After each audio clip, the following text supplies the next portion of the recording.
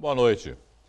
O buraco que se abriu no calçadão da praia, próximo ao Canal 1 em Santos, só deve ser tapado amanhã. Cinco pessoas se feriram e parte da ciclovia foi interditada. Uma faixa da Avenida Presidente Wilson está sendo usada por ciclistas e pedestres. Hoje de manhã, funcionários da Sabesp trabalhavam no local que foi interditado. Parte da ciclovia foi atingida e as bicicletas foram desviadas para a faixa da direita da Avenida da Praia. Agentes da CET orientavam os motoristas. O trânsito ficou lento. O buraco se formou na tarde de ontem, depois do rompimento de uma adutora de distribuição de água. Cinco pessoas que caíram dentro do buraco foram levadas pelo SAMU ao PS Central. Foram atendidas e passam bem. Apenas uma teve que ser transferida para a Santa Casa para tratar de uma luxação. Por causa dos reparos, a distribuição de água foi cortada em 13 bairros. Nós abrimos o caderno regional de ontem mostrando a falta de estrutura do pronto-socorro central de Cubatão. 24 horas depois, a situação não mudou no local. A população está cansada de tamanho descaso. Nós entramos no PS Central com uma câmera escondida ontem à noite. O quadro na parede indica a falta de profissionais. Só emergências são atendidas. Tem gente que já está aqui há três semanas. Esse senhor está com uma bala alojada no corpo, está precisando de uma transferência urgente para fazer uma cirurgia, né? O Tiago também está com uma fratura aqui na perna desde o dia 10, tá? Vanderleia Cordeiro chegou aqui às quatro da tarde e às onze da noite ainda estava sentada no mesmo lugar. Ela está esperando uma vaga para internar o pai, ou um médico para pelo menos diagnosticar o que ele tem. Fizeram o exame dele, todos os exames, o raio-x do, do, pulmão, mas não, não sei nada, de resultado nenhum. Estou aqui desde quatro horas esperando o resultado de alguma coisa, o médico falar comigo alguma coisa, mas disse que não tem médico e não tem vaga para internar ele. Eu estou esperando vaga até agora. No PS de Cubatão, deveriam estar trabalhando dois clínicos gerais, um ortopedista e um pediatra por plantão. Organograma que há tempos não vem sendo cumprido. Ontem pela manhã, flagramos os mesmos problemas. José Sérgio tem hérnia de disco e esporão nos pés. Sofre de dores crônicas. Sem atendimento médico, não soube o que fazer. Completamente rouco, seu cinésio mal conseguiu falar com a nossa equipe. Eu estou passando maldição. Não tem nenhum médico. Nenhum. Já a dona Eni tem câncer no estômago. Penou para conseguir o remédio que precisava com o plantonista. Esse vídeo foi gravado com um celular dentro do PS por dois pacientes internados. O estado de saúde de um deles impressiona. Eu tô com um, um problema na barriga aqui, ó. Um caroço no pescoço aqui para fazer biópsia. Até agora nada. Eu aí tô com o tornozelo quebrado aí, ó, como vocês podem ver. Tô até de muleta aí.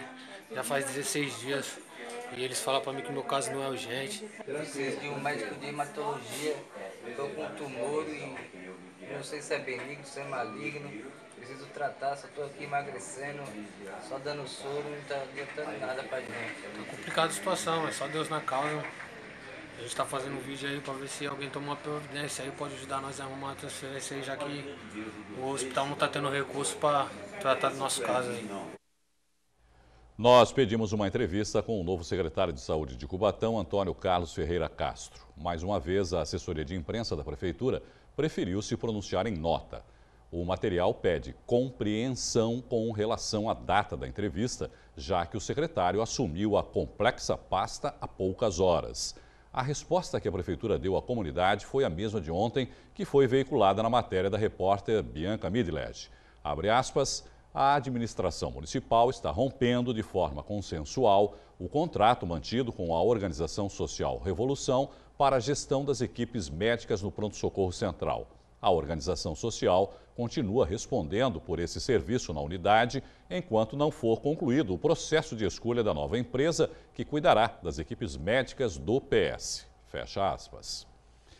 Mais problemas na área da saúde, só que em São Vicente. Médicos do Hospital Municipal iniciaram no fim de semana uma operação tartaruga. Pacientes que foram à unidade reclamam da falta de profissionais os médicos reivindicam o pagamento do adicional de produtividade atrasado há dois meses. Só são atendidos casos de urgência. Segundo eles, as condições de trabalho são péssimas. Faltam materiais, medicamentos e alguns equipamentos são trazidos de casa. Nós entramos em contato com a prefeitura, mas não recebemos uma resposta até o fechamento desta edição. Morreu nesta madrugada, aos 70 anos, o presidente do Jabaquara Atlético Clube, Antônio Gilberto Amaral da Silva. A despedida foi na Memorial Necrópole Ecumênica. Amigos, familiares e esportistas da região foram dar o último adeus ao homem que respirava futebol e não escondia o amor pelos dois times do coração, Jabaquara e Palmeiras. E o Jabaquara pede muito, né? O Jabaquara aqui, a Baixada Santista pede muito no esporte, porque ele não era só futebol, né? Ele é um cara que ele curtia tudo, palmeirense ferrenho, palmeirense fanático, gostava de, de, de assistir jogos de futebol, gostava de ver esportes. Então a gente sente muito pela perda, né? Um caráter espetacular, uma pessoa do esporte, né? E um amigo. É uma pessoa do bem e que vai deixar muita saudade. Antônio Gilberto tinha problemas na coluna e há uma semana operou a cervical. Na última sexta-feira, ele passou mal, voltou a ser internado e na madrugada desta quarta-feira não resistiu às complicações. Ele deixa esposa, quatro filhos e sete netos a maior lembrança é ele fazer as coisas com muito carinho. E fazer perseverança e até o fim e acreditar sempre. Antônio Gilberto Amaral da Silva assumiu a presidência do Jabaquara em setembro do ano passado, após a morte do então presidente do clube, Manuel Gonzalez. No último domingo, a morte dele foi anunciada por engano antes da partida e um minuto de silêncio foi feito pelos jogadores e torcedores. No intervalo, a confusão foi esclarecida. Agora, quem assume o comando do clube é o vice Adelino Rodrigues. A gente vai torcer para que todo mundo se una, se entenda para que o Jabaquara possa alcançar o que é o Jabaquara, né? que a gente possa fazer com que a história do Jabaquara, que é uma história bonita, seja vivida por todos nós agora no presente. Futebol. O Santos enfrenta o Gama pelo jogo de volta da Copa do Brasil, logo mais às 9h45 da noite na Vila Belmiro. O Peixe precisa vencer para avançar, já que empatou em 0 a 0 na primeira partida. Caso o placar se repita, a decisão vai para os pênaltis. O empate com gols garante a equipe do Distrito Federal nas oitavas de final.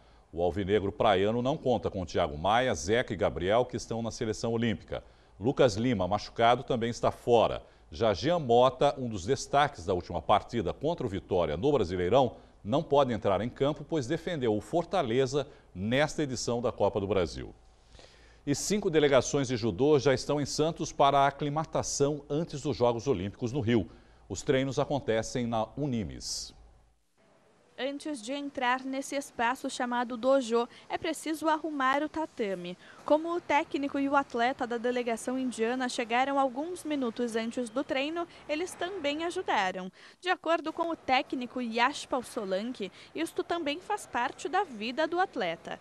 Em inglês, ele disse à nossa equipe que o judô é uma só família em todo o mundo e por isso é necessário que todos se ajudem. Judo is like a one family throughout the world and this is the principles of judo. Esta será a primeira Olimpíada de Avtar Singh, de 24 anos. O indiano compete na categoria até 90 quilos e é o único atleta da modalidade que irá representar o país. Em período de concentração antes dos Jogos, ele não concede entrevista. O técnico afirmou acreditar nas chances de medalha do judoca e gostou do clima de Santos para o período de aclimatação. Like the temperature is almost the same because Rio and uh, the Santos both are on the beaches. Uh, so it's the same. Enquanto treinava, o judoca indiano era observado de perto pelo mestre Satoru, sétimo dan no judô, uma das graduações mais altas na modalidade. Indiano eu observei a mais importância as pegadas. Não tem pegada forte. O judoca tem que ter pegada e não largar mais. Esse é o segredo. São cinco minutos de luta. Então você tem que suportar não só 5, 10, 15, quanto tempo for necessário. Da pegada que faz desequilíbrio, preparação do golpe e aplicação do golpe. Quer dizer, sem isso não tem fundamento ou sucessão do golpe. O técnico da delegação egípcia também falou com a nossa equipe. Hoje ele não treinou no dojo, levou os cinco atletas para um treino muscular na academia e não autorizou que fizéssemos imagens. Durante a entrevista, falou que acredita nas chances de medalha de todos da delegação e se mostrou preocupado com as instalações da Vila Olímpica no Rio de Janeiro ainda não finalizadas. De qualquer forma, a equipe viaja no dia 4 para a cidade sede das Olimpíadas. Olimpíadas. Uh, Outras três delegações de judô já estão em Santos. Argélia, Tunísia e Catar não treinaram hoje. Na sexta-feira é esperada a chegada da delegação do Uzbequistão e de um atleta da Áustria que também deve treinar aqui. E no domingo deve chegar a última delegação a Santos, a dos Emirados Árabes Unidos. Culturas tão diferentes chamaram a atenção de judocas da região, que participam dos treinos como voluntários. O judô é assim, a gente sempre está treinando em conjunto, sempre está buscando o, o, diferencial, sempre está trocando informações com os atletas de outros países, outras cidades. É muito bom para a cidade. A Baixada Santista é um judô que é bem tradicional assim internacionalmente. Acho que desde 1980 até hoje tem atletas da região que vão para as Olimpíadas consecutivamente né, no judô. É, então é bastante importante para fortalecer ainda mais o judô da região e ter essa experiência de contato com atletas de outras delegações. Entre os voluntários encontramos um que veio de longe. Rafael Ribeiro mora em Belém do Pará. Está alojado na universidade. Não falta em um treino sequer. Tanto esforço, quem sabe, pode garantir uma vaga nas Olimpíadas de Tóquio em 2020. Não poderia deixar passar esse momento, né, que é tão especial é, mesmo que seja dando apoio para essas seleções aí. São atletas olímpicos aí bem ranqueados que estão em busca dos seus sonhos, né? E eu vim ajudar, né? E essa ajuda faz parte do, meu projeto para as próximas Olimpíadas, né? Já que eu estou trabalhando em cima disso, da seletiva olímpica já desse final de ano agora, passando, passando as Olimpíadas do Rio, o foco total já na, nas Olimpíadas de Tóquio 2020. Para falar mais sobre as Olimpíadas, eu recebo agora a coordenadora do Departamento de Natação da Unisanta, Rosa do Carmo. Rosa, boa noite. Obrigado, viu, por participar aqui conosco. Os eslovenos chegaram hoje, Rosa? Boa noite. Chegaram hoje, é, chegaram bem cedo, às sete da manhã, então já vieram reconhecer a piscina. Já treinaram hoje? Treinaram hoje e agora às 21 horas eles retornam. São quantos atletas da Eslovênia? São 11. No total, a gente estava conversando aqui antes, quantos atletas vão treinar no, no, no, Santa? Um total de quase 60 atletas. Quase 60, isso. de quatro países diferentes, quatro é países, natação e... Peraí, eu acho que eu esqueci do triatlon. Então, a gente passa para 68 nadadores que vêm a natação da Itália, natação, triatlon e maratona é, triatlon e natação da Eslovênia e maratona da Rússia e do Japão. Só falta a equipe do Japão agora chegar? Sim, a equipe do Japão chegando dia 3 de agosto. Está confirmado já a chegada deles no dia 3 de agosto. Bom, é, nós temos aí nadadores italianos, russos treinando em Santos. Como é que está a adaptação deles? Você tem acompanhado o treinamento deles? Rosa? Eu que, tenho. Qual é o comentário deles? O que, que eles estão achando? A gente fica curioso em saber também. Não, está bem interessante porque eles não esperavam tanta receptividade, um tratamento. E, haja visto o coordenador deles já deu essa entrevista falando, né? Então eles estão assim com uma estratégia, inclusive, hum. de ir para a Vila Olímpica somente assim no último minuto ficar o máximo possível aqui. Eles estenderam né, a, a estada deles aqui, os italianos? É, ele, na verdade, o Stefano, que é o coordenador, ele está retornando hoje do Rio e vai trazer essa, essa decisão para a gente, né? Mas por telefone ele já me adiantou que a estratégia dele de começar a sair no dia 3 já veio por água abaixo. Ele vai tentar sair no dia 4 e no dia 5. Por quê? Dia 6, sábado, já começa a natação no Rio de Janeiro. É isso que eu ia perguntar. É, Quando que iniciam lá É dia as 6. Provas? E os atletas, eles têm que ser credenciados. Então, isso demanda um tempo. Uhum. Então, não adianta chegar assim, não, eu vou chegar no Rio dia 6 e vou direto para a piscina. Não, isso não ocorre. Não, não tem como. Não, existe toda uma burocracia. Agora, a Raquel Bruni, que é a maratonista aquática, Sim. acabou não vindo teve um motivo para Não, isso? é que ela sempre, a, a, quando está prestes a competir numa uma, uma, um evento tão grande quanto esse, ela opta por fazer altitude, treinamento em altitude. Hum. Eu até questionei o coordenador, falei, mas altitude, agora, né, às vésperas da competição, ele falou, ela, ela tem esse hábito, tanto é que ela não faz um treino tão vigoroso, mas também é muito da cabeça do, do, do, do atleta em si, né? Tem atleta, por exemplo, vai, guardadas as devidas proporções, aquele cara que só usa aquela chuteira, só usa aquela meia, é, é um ritual. E ela tem esse ritual. Como é que está o clima aí com a delegação da Rússia? Com a, com a determinação né, do COI de excluir toda a equipe de atletismo e agora também alguns atletas de outras modalidades. Quer dizer, como é que está o clima entre eles? É, na verdade, com a gente, porque a, a, é, uma, é uma comissão técnica, só tem mulher. Só o mulher. único homem da delegação é o nadador, É. né?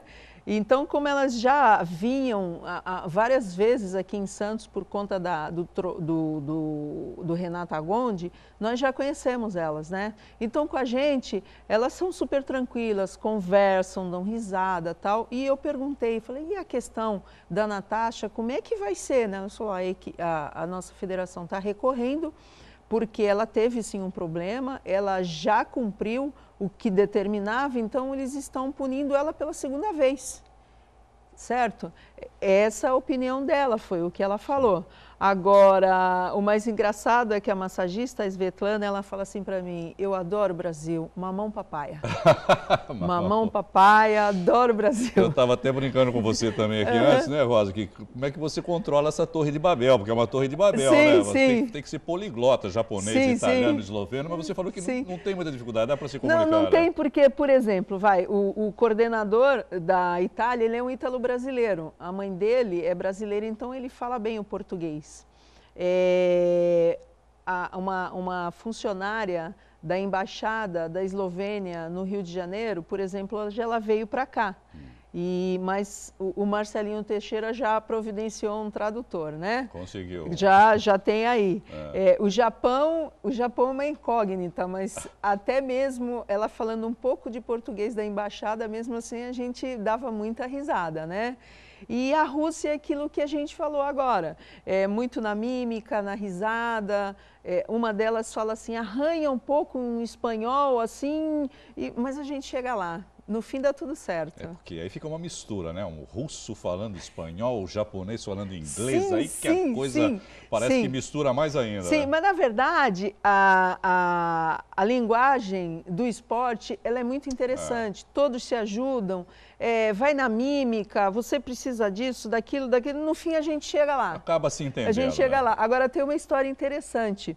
O massagista da, da Itália, é, ele, ele perdeu o, o- a, um- a parte de cima do agasalho dele. No hotel ele estava jogando snooker, então ele tentava falar com o rapaz da, da recepção, ele falava que ele estava jogando snooker e ele perdeu ah, o casaco. Aí o cara falou, ok, ok, sim. E no dia seguinte mandou a camareira pegar a roupa dele para passar. Entendeu?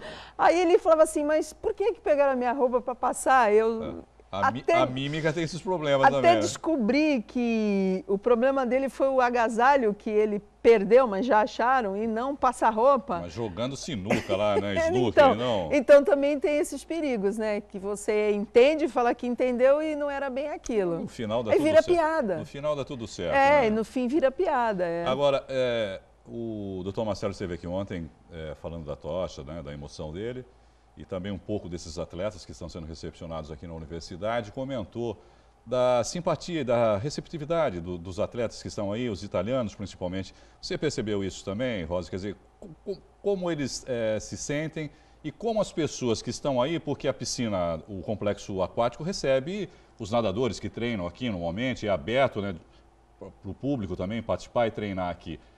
Eles são receptivos com essas pessoas também? Como que as pessoas veem os atletas e como os atletas recebem essas pessoas? Ah, eles são muito receptivos. É, no entanto, é, a gente, no meu caso, eu já oriento as pessoas, calma, eles estão no horário de treino, eles estão concentrados, estão focados no trabalho deles. Quando terminar, que eles efetivamente saírem da piscina, Aí vocês conversam com ele. Então a moçada tira foto, pega autógrafo.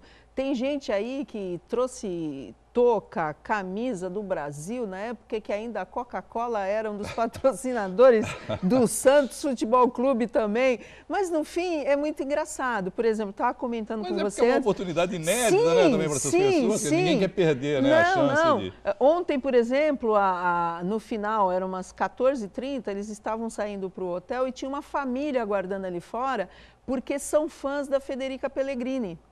E ela acabou atrasando toda a delegação porque ela foi lá dar atenção, tirou foto, deu autógrafo. E aí eles ainda, pô, desculpa. Ela falou: não, é minha obrigação. Vocês, Legal, isso é legal, eu acho isso né? Não, bacana. muito legal. A- até embora o pessoal da Rússia seja um pouquinho mais seco e eles tenham a, a, a orientação do governo de não abrir a boca, É. não dar entrevista, mesmo assim ainda não se negam a tirar foto. Não faça pergunta, porque também não vai entender, né? Mas uma fotinha básica não tem custa problema. nada, né, também. Agora, hoje, a hora que os eslovenos chegou, foi uma farra. Primeiro que me chega um homem aí de 2 metros e 10 e falava, isso não é nadador, é jogador de basquete, né? Tá, tá na- no esporte errado. Pois né? é, mas super simpáticos, muito simpáticos. E agora faltando chegar o Japão aí, né? Que também são dentro da, da rotina deles, né? De muito sério e tal, também são simpáticos. Isso serve para despertar o interesse nos jovens também, para o esporte? Sem dúvida. Né? Essa interatividade? Sim, sim. Inclusive, uma das coisas que eu falo para eles assim: para aí e olha, observa. É, pega tudo de bom que você está Que vendo. são atletas de ponta, Sim, né, na- na modalidade nossa, de cada um, né, pra disputar a Olimpíada, Um né? atleta olímpico chegou no auge. Sim. É um atleta que chegou no auge. Então, se você quer copiar alguma coisa boa, tá. Estão o, aí os exemplo, exemplos. o melhor exemplo está aí, né? Nossa, os exemplos. Você tem uma ideia? ah, eu estava lendo uma revista especializada falando sobre as possibilidades no Rio de Janeiro e na nossa piscina, só na equipe da Itália, ter pelo menos seis possibilidades de medalhas reais. Sensacional. né? Muito bom. É, na própria nossa própria equipe, treinando ali do lado deles, tem a Ana Marcela, Sim. né? Que para eles já virou uma coisa normal. Para meninadinha, já virou uma coisa normal. Não é novidade mais. Não é novidade. A própria maratonista e o maratonista da, da Rússia também estão bem ranqueados. Então, quer dizer, é, é- é uma coisa que tem que aproveitar, porque a gente não sabe quando essa oportunidade vai acontecer de novo. Olha, nessa nossa existência, Olimpíada, eu acho que a gente não vê mais. Pois né, é, Rosa? fiquei Então, preocupada com essa então, nossa existência aí. Essa nossa existência pode existir que a gente não vê mais. Então vamos aproveitar também essa Não é? oportunidade. Verdade. Tirar foto com a tocha, essas coisas sim, todas, né? Tudo que a gente sim, tem direito. Sim. Olha, Irineu, eu acho o seguinte, eu, eu, eu costumo usar as redes sociais, eu brinco muito, eu me divirto nas redes sociais. Mas uma das coisas que eu postei essa semana é o seguinte, vamos parar de reclamar, vamos parar de É, criticar, chega, né? porque os problemas já aconteceram em várias edições das Olimpíadas em outros locais que a gente achava que ia ser tudo perfeito e não foi. Eu acho que a gente precisa parar de transformar em, em problema o Sim. que não é problema, Sim, na verdade. sim, Porque sim. agora qualquer coisa é problema. Sim. Ah, não sei onde pega o táxi, ah, não sei onde é o ponto de ônibus. Peraí, gente. Para, Em né? qualquer lugar que você chega pela primeira vez, tem Pergunta. coisas que você não sabe, mas se você Sem perguntar, você dúvida. vai ser informado. Então, Sem dúvida. acho que nós estamos com uma mania de transformar em problema Sem dúvida. o que não é problema. Rosa, quero agradecer viu, a sua presença aqui e depois que passar essa, eh, tudo isso, você volta aqui para contar outras histórias para a gente desse pessoal que está aí desses dias aqui na Ah, universidade. eu quero voltar aqui para comemorar uma medalha, né? Não, uma não, várias, né, É, Rosa? Por favor. é, eu assim, eu acho que nós vamos, eu tenho assim maior confiança de que duas acontecerão, né? E eu já falei que eu vou ser presa em Copacabana dia 15. Eu vou ser presa, então, departamento jurídico, por favor, Já está a postos. já está a postos. Obrigado. Obrigada aí pela oportunidade. Eu é que agradeço. Boa noite para você. Até a próxima sexta-feira, o Centro de Cultura Patrícia Galvão, em Santos, recebe a exposição Pedra, Ferro, Barro, do artista plástico Elver Savieto. São mais de 70 peças que mostram a trajetória dos 40 anos de carreira do artista plástico e professor Elver Savieto. São esculturas em pedra, sabão e barro. Trabalhos em colagens coloridas que retratam a artista e cantora Carmen Miranda e períodos marcantes no país, como a ditadura militar. Eu reúno três fases de trabalho. A pedra-sabão, que foi o material que comecei a trabalhar. O mármore, o segundo material. uh, o ferro, uh, o terceiro material e o primeiro material antes de todos, a argila, o barro. É, através do barro que tudo se concretizou. Esses trabalhos em ferro eram pretos. Eles foram repaginados e receberam novas cores. A exposição também reúne peças em mármore, como essa, que representa o mar. Foi a primeira feita pelo artista plástico com esse material. O mármore é, o, é um material assim, para mim me deu mais dificuldade para aprender porque eu não tinha conhecimento técnico. A primeira peça eu demorei dois anos e meio para terminá-la. A exposição Pedra, Ferro, Barro acontece até 30 de julho no Centro Cultural Patrícia Galvão, de segunda a sexta, da uma da tarde até as 8 da noite, aos sábados até as 6 da tarde.